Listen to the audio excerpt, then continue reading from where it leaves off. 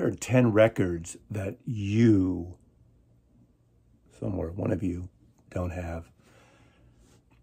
I can't be so presumptuous thinking that no one out there of the thousands of people watching this video that are going to watch this video doesn't have at least one or more of these records. Of course someone does. But TKR, TRK channel, oh my God, I got dyslexic.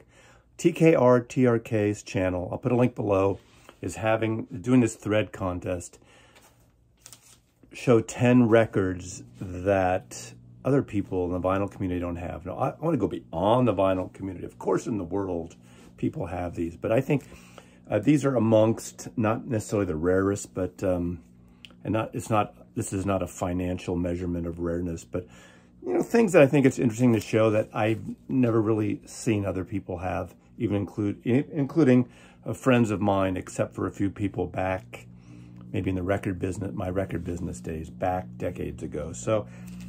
Uh, first, I have a stack of 45s I think are kind of fun and interesting. I have a few uh, albums and I have a special personal record that I have shown years ago, but now with all these new subscribers, you probably don't know about it. You haven't seen it, and you're going to hear it at the end. I did play it on one of my videos several years ago. Let's start with this promotions promotional single uh, from 1969. Capitol Records. It's a, um, I believe it's a 33 and a third single, and it's promotional Capitol Records. It's the Sons of Champlin. Jesus is Coming, part one and part two, and it starts on uh, side one, and it continues on to side two. Now, I'm a big fan of uh, the first Sons of Champlin album. Oh God, I wasn't prepared. I should have been prepared all-time favorite mine, one of the great uh, sort of ballroom bands of San Francisco in the 1960s, Fillmore, Avalon, the Sons of Champlin. What was unique about them, they put out this album in 1968. Uh, that's horn based. So it, it, was around the same time as Chicago Transit Authority's first album.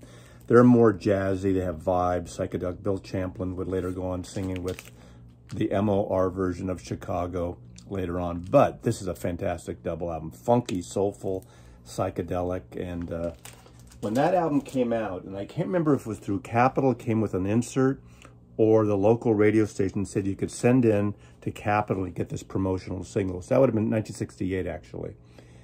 And um, I wrote my name on it, actually. There you go. But I like this. It's it's a long song. I don't know if it, it might have come out on a subsequent uh, CD where they tacked it on the end of the CD. But it's a good song. It's um, Jesus is Coming. Not totally religious, somewhat secular, but just really a, a great, great single and uh, promotional copy, 1968. Here you go, Sons of Champlin. Love me some Sons of Champlin. They actually, for a while, changed their name to Yogi Phlegm, which was a bad move, and then went back to the Sons. So I think they're together again after all this time. Now, this is an interesting record. This is from 1981, and this is a single, Allen Ginsberg with the Gluons. I believe the Gluons were kind of a new wave punky band out of uh, Colorado, I believe. And this is the poet, the great poet, of, of Howl fame and Beat Generation fame, and Bob Dylan, kind of associate later fame. Uh, this is his first foray into punk, and this is, I think, this is several years before he, he worked on uh, The Clash, with The Clash on their album. And the song Bird Brain, Bird Brain is about Ronald Reagan, 1981, and it's really a great, great song. And he's reading his poem based on Reagan, Bird Brain. Side two is Sue Your Parents and Allen Ginsberg with the gluons. These kind of independent, uh, kind of 45s. Uh, this is on Alicos Records. Don't know much else about it, but that's next. My next, now I'm going for a lot of the new wave, uh, punky bands, new wavy bands out of San Francisco that I got these independent singles. Uh, this is on a local Union Street label. I mean, everything was self-produced in those days, all these punk bands. And this is Eye Protection. Uh, Danny, oh, no, what's his name? Danny Prieboy? Prieboy? Andy Prieboy. I think he moved to LA eventually. Eye Protection, uh, I saw a lot playing around San Francisco. Uh, this is produced by John Kuhn, and this was 19, I'm thinking 1980, 81, I don't remember. 45 RPM stereo, 45. Single hole like the British holes, like the British holes. That makes no sense. Um, 1979, 1979, there you go. They changed their name for a while to The Beef, The Beef. Horrible change. What's with these bands? They just can't leave it alone. High, Eye Protection was such a great name. And uh, they were a punk band. Andy Prieboy was a, you know, a good leader, a good front man, and I think later went to L.A. I never followed him beyond that. Every once in a while I've heard his name again, but if anyone knows, Vinyl Richie, Richie do you know Andy Prieboy? Eye Protection, never see them. I did see them plenty of times, so there we go. Then we got another uh, San Francisco band. Uh, this has a tragic story for one of the members. And this is a single, Leila and the Snakes. Jane Dornacker uh, was playing and performing with the Tubes, the, the whole idea of the Tubes, and um, uh, Pearl. This is um, Pearly Gates, that's it, Pearly Gates, who actually uh, had records on her own, started her own band, uh, Pearl Harbor and the Explosions, right? Yeah, Pearl Harbor and the Explosions. Anyway, uh, Jane Dornacker played with the Tubes, fun single, indie single, again, self-produced in San Francisco on ASP ASP Records. Now, Jane Dornacker would later move to New York, and she became sort of the traffic person in one of the uh, New York local radio stations. And tragically, uh, one time during drive time, I guess, her helicopter crashed and she died way too young. A, a, great talent, very personable uh, person, uh, Jane Dornacker. Sad ending, but this is the Snakes. I saw all these bands playing around. They were just staples around San Francisco in the late 70s into the early 80s. Okay, now I got two songs, two records I'm putting uh, together, and one is an infamous lawsuit. But Dick Bright and his Sounds of Delight and Little Roger and the Goosebumps were playing these lounge, they did a faux lounge act around San Francisco at a place called the Red Chimney in Stonestown, old, kind of old school uh, lounge, and they would play five nights a week, I believe, and it was hysterical. All these people would show up, everyone from members of Santana to to Dan Hicks to um, guests all the time performing uh, with them occasionally. And I did a parody of a lounge act. Uh, Buddy Love, Bud E. Love, who did sort of a parody of the uh, Jerry Lewis character of, of the original um, Absent Minded Professor? No, what's the one? Jekyll and Hyde one. You know what I'm talking about. But this is one of their parodies. Little Roger and the Goosebumps did Kennedy Girls. It's basically a takeoff of um, Cinnamon Girl, the, the, the Neil Young uh, solo song. And it's, it's, it's so hysterical. Kennedy Girls. Back with Bozo Chimps. And this is on uh, Richmond Records. Richmond is the a town across the bay north of Berkeley in the East Bay. But this is the one. This is, first of all, look at this. Kinks Sides based on the Kinks, obviously. This is an, uh, an EP, and it um, starts out with So Tired by uh, Dick Bright Sounds of Delight, with vocals by Little Roger, and Victoria and All Day and All the Night. Now, the one I forgot, the one I meant to pull, oh my God. Okay, just pretend this is the record. I forgot to pull it, but it was also Little Roger and the Goosebumps, and they do a song. They basically do this is really good. And it's really, you should track this down. They got a cease and desist uh, lawsuit by Led Zeppelin. They did a version of Stairway to Heaven, the whole music, perfect, perfect rendition of Stairway to Heaven, using the lyrics of Gilligan's Island. And so it's the Gilligan, Gilligan's Island Stairway to Heaven record. And I have it. I didn't pull it, so mea culpa again. I'm just apologizing left and right here on my channel, uh, which I keep telling people never apologize when you make these videos. But um, anyway, Little Roger and the Goosebumps, Dick Bright and his band of delight, and uh, that whole entourage of Buddy Love were so hysterical and parody, but really good musicians and just really spot on. They had a great, you know, comic irony. And uh, But seek out that, uh, I can't even play it here, I don't think, the uh, Gilligan's Isle Stairway to Heaven. It's, it's wonderful. Okay. Staying with the theme of parody songs on Asinine Records out of Los Angeles, uh, this is A Day in the Life of Green Acres. Basically, it's the same kind of thing. It's the, the lyrics of Green Acres. I think they stole the concept of doing these uh, mashups from Little Roger and the Goosebumps. See, LA just always rips off San Francisco. It's by Damascus and Barnes and Barnes. And you know Barnes on Barnes, they did fish heads, fish heads, fish heads, roly-poly fish heads, which is Billy Mumy. Yes, that Billy Mumy from Lost in Space and Twilight Zone and did a bunch of parody things. Dr. Demento used to play this kind of stuff all the time out of Los Angeles. So uh, this is uh, Day in the Life, obviously the Beatles song with the lyrics of Green Acres theme. The stores, the chores, fresh air, Times Square. Uh, but funny, making love in a Subaru. I don't even remember. I don't know if I ever listened to that B-side. So there you go. You don't have these records, do you? Someone does. Now this record I don't know why I pulled this record because I had it and I don't even know why I have it, but I have it from my record store days because it's a promo copy. And I have two copies of it. That's even that's even funnier.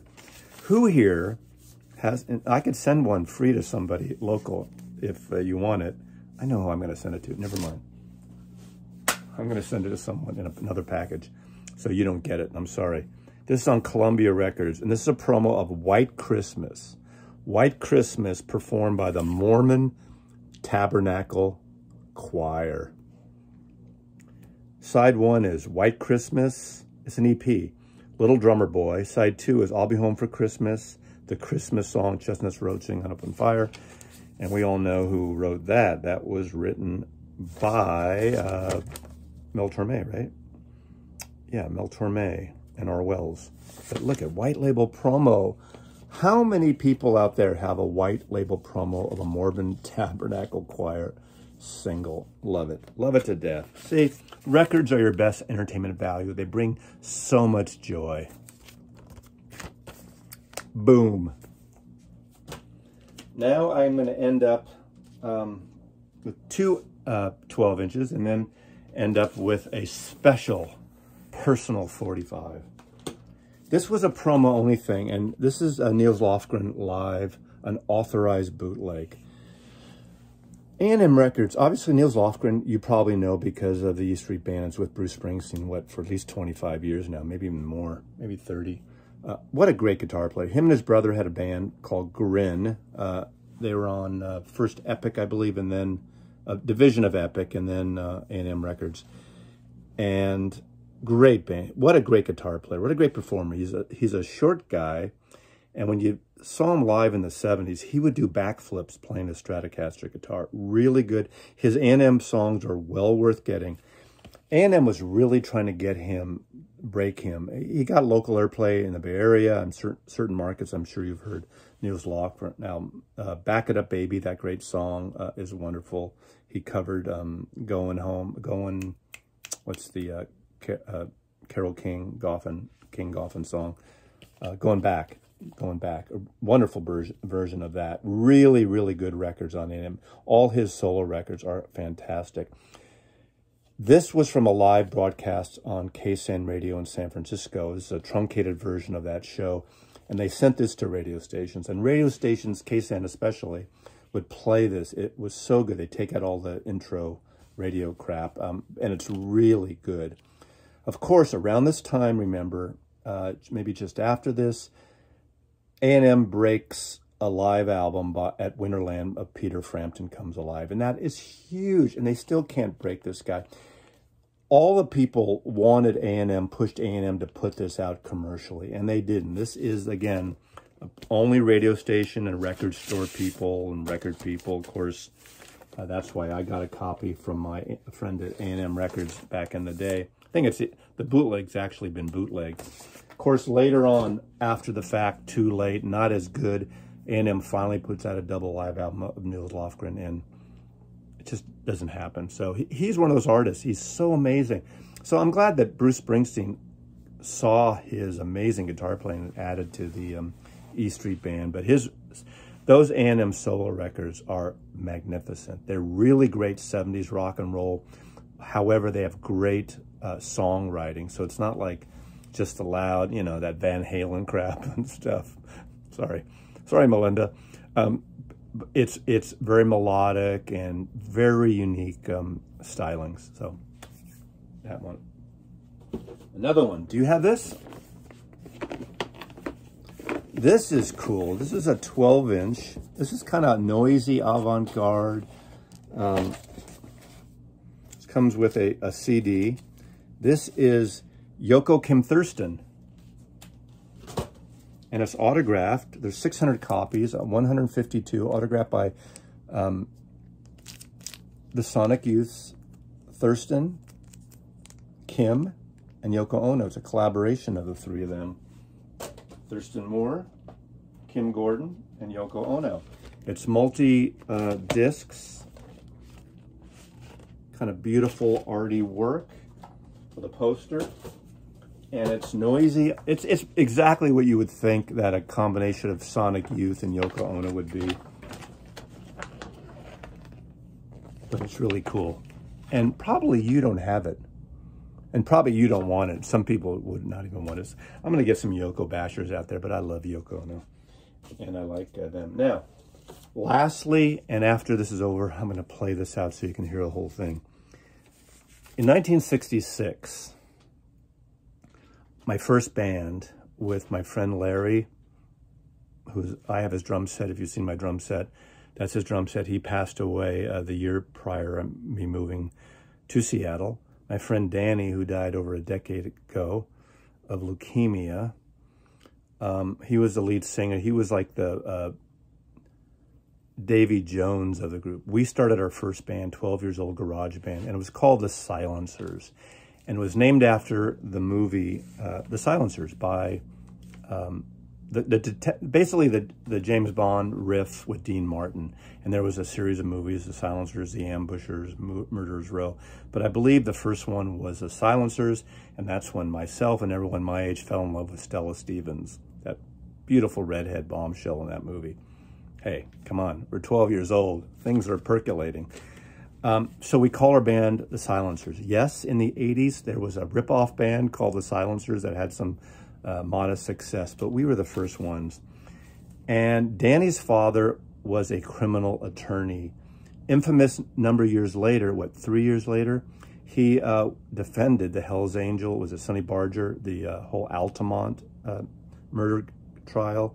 He worked with, uh, defended and represented Jim Marshall, photographer of gun and, and drug charges. That's what, but he uh, had a friend who had a recording studio or a client, I guess, I don't know, I was 12 years old, on Natoma Street, San Francisco. And it's 149 Natoma Street, Commercial Recorders, San Francisco. So he gets us to go to a recording studio to record these two songs we wrote. I Don't Care, written by Danny, and Blast Off, written by me, Danny, and my friend Tom Quackenbush, which is just a standard progression. I'm not going to play Blast Off. A side, I guess, if there is, is called I Don't Care by Danny Walker. It's kind of punkish. I mean, we didn't have a bass player. We had guitar, singer, tambourine, uh, drums. Larry's on drums, and I'm on guitar. With my our, our vocals, like, we're going through a, a change. So we go to this place. The great thing is last year, I was at the Museum of Modern Art, and Natoma Street, that was a different, South of Market was totally different than work, uh, you know, in, low industrial, alleys, kind of cool in a way. During the punk scene in the 80s, it was really good in the 70s. Um, but right now, the Museum of Art in San Francisco, the, if you look out the back, the alley, you can see this building. It was like a three or four story kind of brick style building, an old freight elevator. I remember going up there. We recorded, we I think we did the tracks twice through, only once was recorded, and then we double tracked uh, the vocals. And it's not very good, but we're 12 years old. They pressed five copies. There, I think Larry's copy is still around with his wife. I don't think any other copy existed. It's basically like an acetate. I mean, it's been played so much and it's kind of squirrely by now. But I'm going to uh, close off with I Don't Care. 12-year-old boys in San Francisco, garage band. Uh, nobody has this, and I know this one for a fact. So thanks for watching. I'll pull a link down to the original, the OG version of this concept. There's a bunch of them around, and I've been enjoying them. So uh, thanks for watching, and, um, you know, I don't care.